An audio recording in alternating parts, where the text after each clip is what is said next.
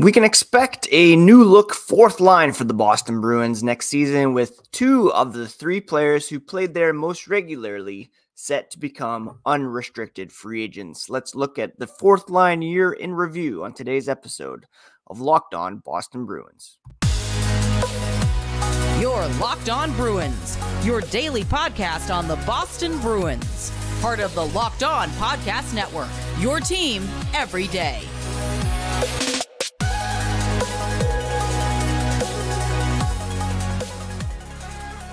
What is up, Bruins fans, and welcome back to the Locked On Boston Bruins podcast. I'm your host, Ian McLaren, and this is a daily show where we discuss all things Spoked B. Thank you so much for making Locked On Bruins part of your day every day. We are free and available wherever you get podcasts and on YouTube, part of the Locked On Podcast Network, your team every day. And today is Tuesday, May 30th. And like I mentioned off the top, we're going to look back at the fourth line and assess how they did, who might be back on that line next season. Before we get into that, a quick reminder you can find the podcast on Instagram and Twitter at Locked NHL Bruins. You can find me, uh, my dad jokes, and hockey tweets at Ian C. McLaren. Now, I'm going to start with Tomas Nosek because he was the fourth line center of note this season. This line, when he was healthy, was built around him.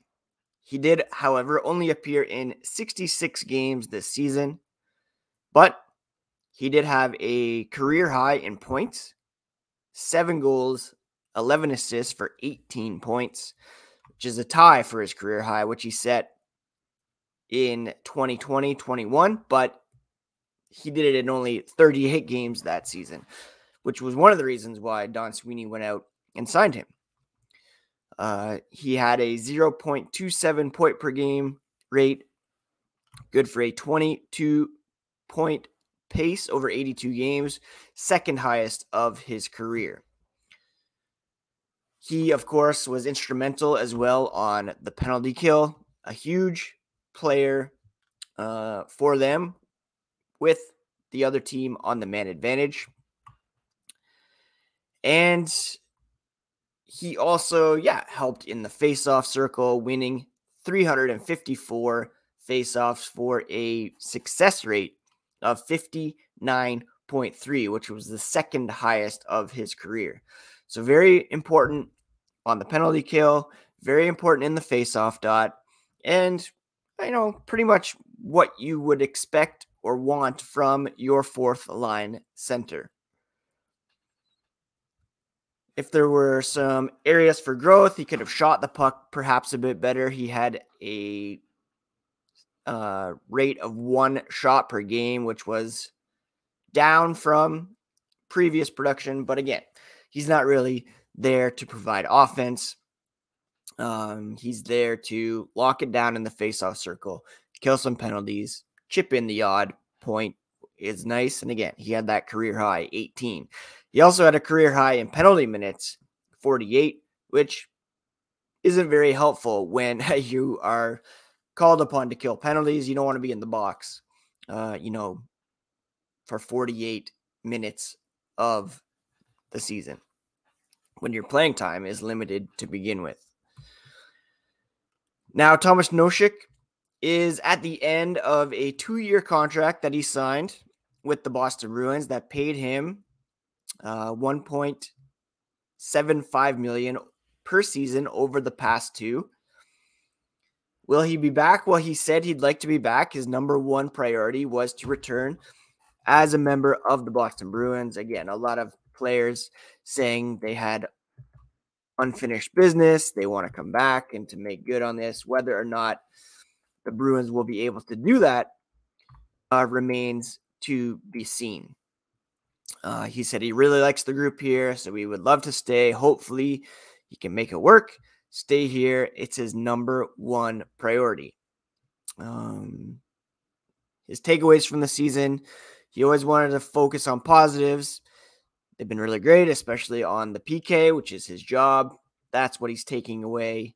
uh, learn from mistakes that happened, be mentally tougher, stronger, so we don't, quote, choke again. Again, whether or not he gets that opportunity remains to be seen.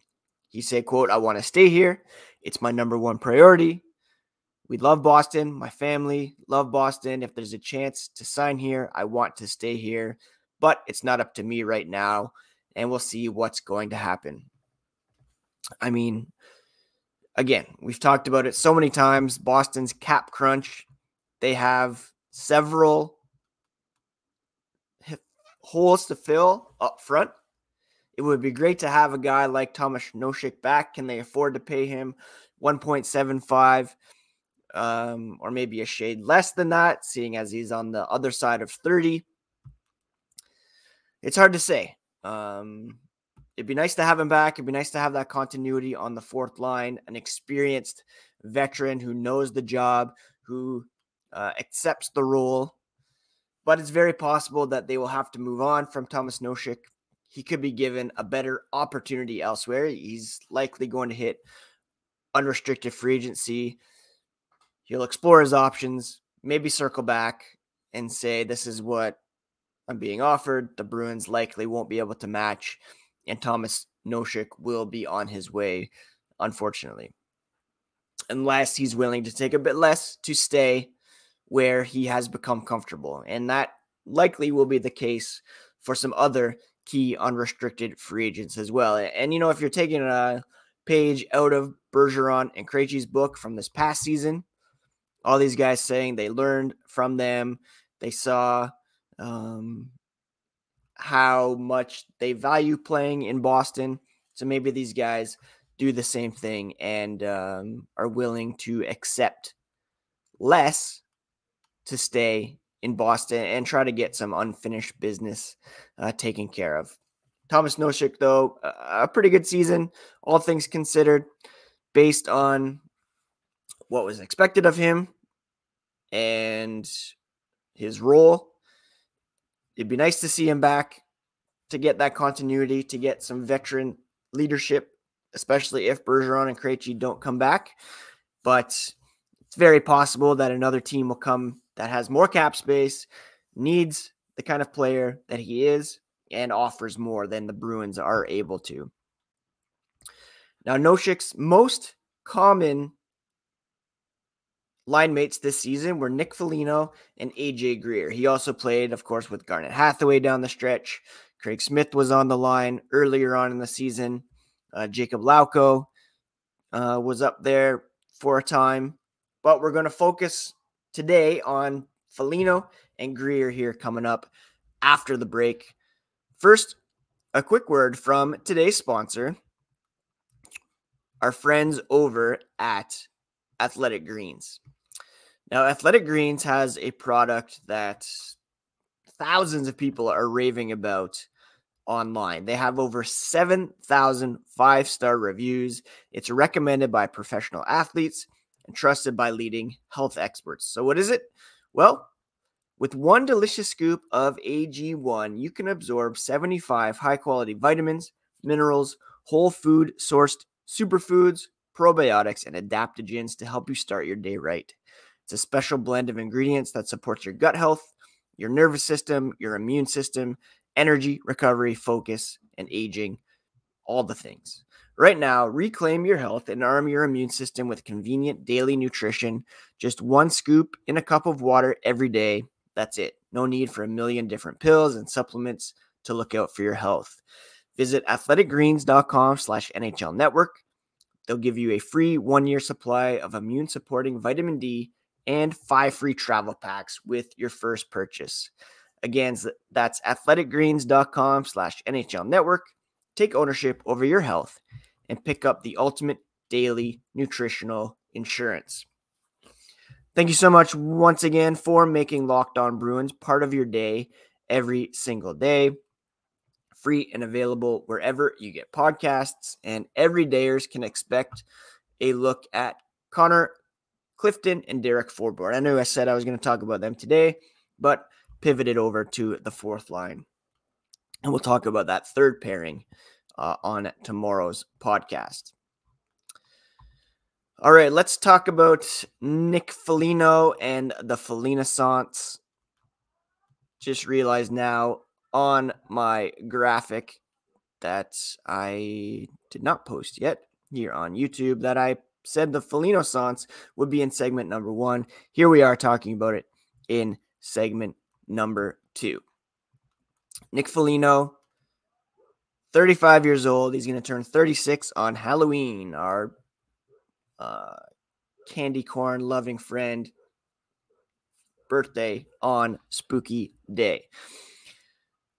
You know, a lot of people were looking for a buyout on Nick Foligno after his first season in Boston, which was quite unsuccessful, limited to 64 games, two goals, 11 assists for 13 points, which was the lowest since his rookie season back in 2007 2008 as a member of the Ottawa Senators. Our boy came back with a vengeance this past season. He was limited to only 60 games with an injury suffered in February. That allowed, however, with him and Taylor Hall going on LTIR, it allowed the Bruins to add at the trade deadline. Uh, Nick Foligno chipped in 10 goals, 16 assists for 26 points this season, 0.3, 0.43 points per game, his highest point per game average since 2019 2020, his uh, final full season as a member of the Columbus Blue Jackets. It was a 36 point pace, which is, yeah, very good for a guy who is in his mid 30s. His shooting percentage was inflated, however, 14.1. He only had 71 shots on goal, uh, the highest shooting percentage since 2016 2017 when he had 26 goals for the Columbus Blue Jackets. His career average is 11.1. So his shooting percentage higher than his career average. Can't really bank on that. Uh, he had 1.2 shots per game, which was down from his career average of 1.8. He chipped in uh, some hits, 147 hits, seven power play points, 29 blocks. Uh, when he was called upon to take faceoffs, he won 55.6 of them. And again, was uh, a physical presence on the power play for the Boston Bruins. The question is, will he be back in black and gold? If you ask him, he uh, would love to be. He served as kind of a de facto captain down in the uh, bottom six for the Boston Bruins. His leadership was incredibly valuable. He really helped guys like Trent Frederic, he was another sounding board for uh, Jake DeBrusk, and they had like a leader on every line, a guy who is captain material on every line. If you think of Bergeron, then Krejci, Charlie Coyle on the third line, and then um, Nick Foligno on the fourth line. After the Bruins lost to the Panthers, he said he thought one of the most emotional parts for him is not really knowing what's going to happen. It's no secret that he loved it in Boston. He bonded with the guys. They've gone through a lot. I've mentioned many times on the podcast his speech at the Winter Classic um, and how it motivated Jake DeBrusk to step up, score those couple goals. He said he can't control what Sweeney and Cam Neely and the staff decide, but he thinks the feeling's mutual that they want to try to figure something out. Uh, he would prefer to come back, especially with the way things ended and what he foresees for this group. There's still a lot of great players. Um, there's going to be change because of the cap, but quote, you hope to be part of it and rectify went what went wrong this year. Uh, he added, he's so committed to this group, and he feels like he's a big part of this team. He can help this team.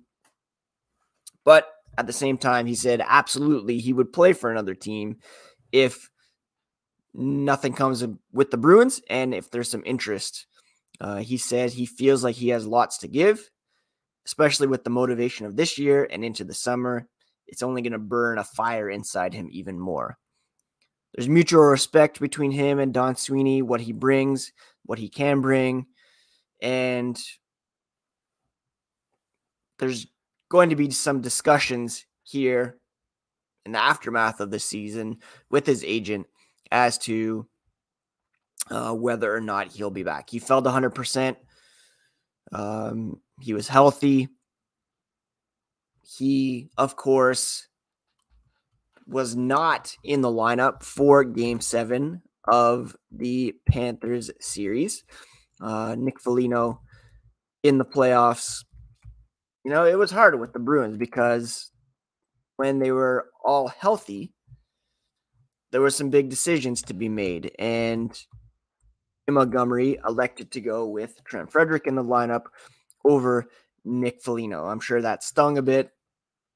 It was kind of reminiscent of um, David Backes being scratched from the game seven against the St. Louis Blues uh, in the series against the Panthers. He had one goal, two assists for three points, uh, zero points over the final two games that he played. And he was a minus two, took four penalty minutes in game six. So maybe that was a strike against him. But again, you could maybe say that his leadership and his calming presence would have been better served in the locker room and on the bench than in the press box for game seven. And that's a question that lingers over Jim Montgomery, one of several over the series. Probably should have had him in there, probably should have learned from uh, game seven against the Blues and not having David Backes. I still think that would have given the Bruins more of an emotional boost. Um, you bring these guys in for their leadership, for their experience. There's no reason to hide it um, when the games matter most. No disrespect to Trent Frederic. Um, so, yeah, will he be back? Who knows? If he is, it will certainly be less than what he made over the last two years with the Boston Bruins, which was um, $3.8 million cap hit. It'll have to be significantly less than that if he wants to come back. If Bergeron and Krejci aren't back, then again, same as Nosek, you'd love to have his leadership, his experience, that continuity in the bottom six. Uh, but again, another team might come calling and ask or offer him more than what the Bruins are able to in order to keep him. All right, well, let's wrap up by talking about AJ Greer here after the break. Now, one guy we know will be back with the Boston Bruins next season is AJ Greer because he is signed. He has a contract, a very reasonable seven hundred and sixty-two thousand dollars and five hundred dollars over next season. Now, AJ Greer uh, a bit of a revelation for the Boston Bruins. He was signed as a free agent last summer. He was a um, draft pick from 2015, second round pick by the Colorado Avalanche. Wasn't able to find his groove there, nor with the New Jersey Devils over the past two seasons. This year, career high 61 games played, career high five goals, seven assists for 12 points. Um, he had 114 uh, minutes in penalties, 66 shots on goal, 7.6 shooting percentage, and 101 hits as well. Uh, AJ Greer, he is 26 years old. He'll turn 27 in December, and he will be back as a member of the Boston Bruins here next season because, again, he's under contract. And, you know, Greer was a guy who found himself on the outside looking in in the playoffs. He did not suit up for any game against the Florida Panthers. Uh, you could argue that they could have used his energy, they could have used his willingness to mix it up. Maybe he could have been uh, a disruptive presence, gotten under Matthew Tkachuk's skin a bit more. But again, when everybody was healthy, he was behind Foligno, Frederic, even Jakub Lauko on the depth chart. Uh, now, having said that, Greer probably will have a more regular role with the Boston Bruins next season. This cap crunch, this $4.5 million overage that they are stuck with, is going to force them to play some guys on discount contracts, entry level contracts. It was smart to sign Greer to that two year deal with a view to this season. They have only $4.93 million in projected cap space at the moment, and that's with seven forwards under NHL contracts for next season, one way contracts.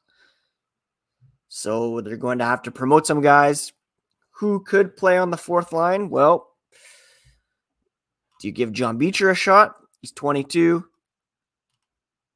It depends what your philosophy is for the fourth line. If you want it to be a lockdown line, uh, penalty killing kind of pe- people, or you want to have uh, some fresh young legs down there, energy. Beecher signed his entry level deal for the next two seasons, 9.25, 925,000, not 9.25 million. Um, Oskar Steen could be a candidate to play on the third, fourth line. He's got one year left on his deal. Brett Harrison, Matt Poitras, likely a bit too young to make the jump at this point. Um, and then you have some other guys who are restricted free agents with arbitration rights, like Marc McLaughlin, Shane Bowers, a candidate to play center as well. Don't forget about him. He was acquired from Colorado in exchange for Keith Kinkaid. and I mean, he could be a candidate to get some time. He had 14 uh, points in 37 games with the AHL's Colorado Eagles, seven points in 20 games with Providence Bruins, only one game at the NHL level since being picked uh, 28th overall in 2017. So he could be a dark horse candidate to uh, get some playing time at center next season for the Boston Bruins. The big question is, will they resign Nosek and or Foligno?